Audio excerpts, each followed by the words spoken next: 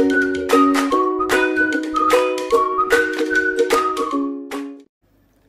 guys, Assalamualaikum. Kita jumpa lagi dalam Tapak So, kat depan aku dah tersedia lah. Dua produk baru daripada Maggi. Ah, Tengok Maggi goreng cili kampung. Dan ni adalah Maggi goreng sambal tumis bilis. Tengok saja dah menyediakan. Dia punya bau pun Ui, sedap gila kan?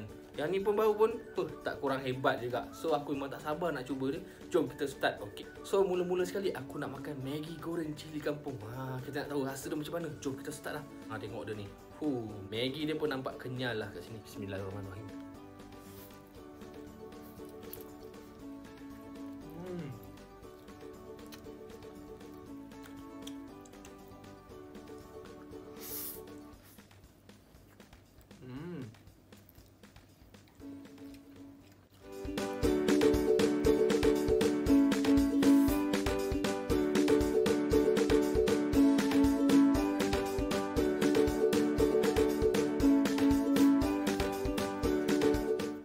makan untuk Maggi goreng cili kampung ni Taklah pedas macam nama dia tu. Ha, Cili kampung. Rasa dia tu macam dari segi punya kicap Perencah dia tu. Memang sangat puas hati lah. Aku memang suka Aku memang enjoy dengan dia punya Rasa dia memang sedap.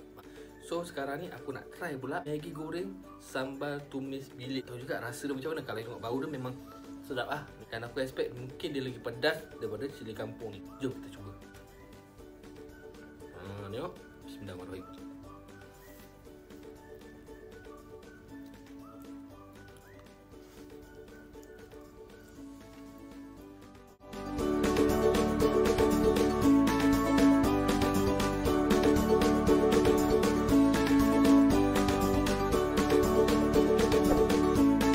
Setelah aku makan untuk Maggi goreng sambal tumis bilis ni Rasa tu sikit pedas berbanding yang cili kampung ni Tapi rasa dia ni uh, macam makan roti ikan bilis yang singgit tu. Uh, Rasa dia lebih, kurang lah, lebih kurang je rasa dia macam tu. Uh, Itu pendapat aku lah, cerita rasa aku. Tapi so far overall aku rasa rasa dia pun memang sedap jugalah. Walaupun tak sepedas macam Maggi pedas gila Tapi dapat rasa lah. So siapa-siapa yang tak suka pedas Ataupun tak tahan makan pedas Korang boleh pilih lah kedua-dua produk ni ha, Sebab kedua-duanya tak pedas. Memang kedua-dua memang sedap. Memang patut korang cuba. So aku nak sambung makan lagi. So untuk kali ni aku nak campurkan kedua-duanya. Ha, Aku nak campurkan dua-dua. Nak tengok macam mana dia punya rasa tu. Ha, Mungkin lagi sedap. Mungkin sebaliknya.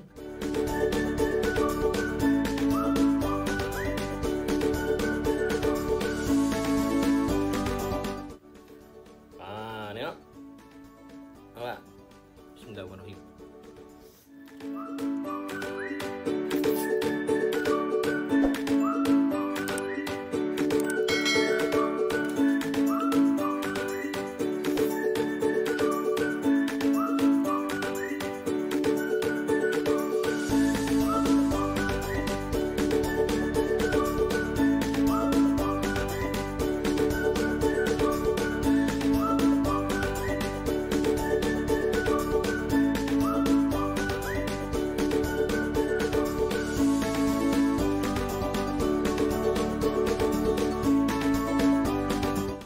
So Alhamdulillah aku dah selesai makan Maggi goreng cili kampung dan Maggi goreng sambal bilis. So itu saja daripada aku untuk kali ni. Tapi sebelum tu korang bantu aku dengan dua cara saja okey?